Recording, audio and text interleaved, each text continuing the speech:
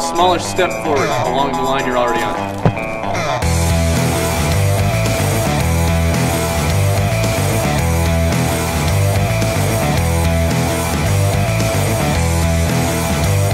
Every year you lose three, four All Americans, and they say, What are you going to do next? And they replace it with five more the next year, and you lose those five, and they say, What are you going to do next? And these are guys that have worked tirelessly to, to have their time, and this is their time.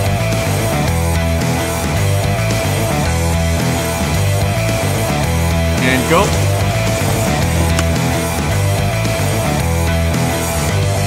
Hey, okie, okie, okie, okie. Hey, uno, uno, uno, uno. Hurry up, offense. Let's go. Hey, two, two, two, two. We lost some great guys. What we need is that senior class now to step up, um, to become that new leadership group, to become that new mentality of, of where our standard needs to be, to set it for the young guys. Just say the words and I'll do it.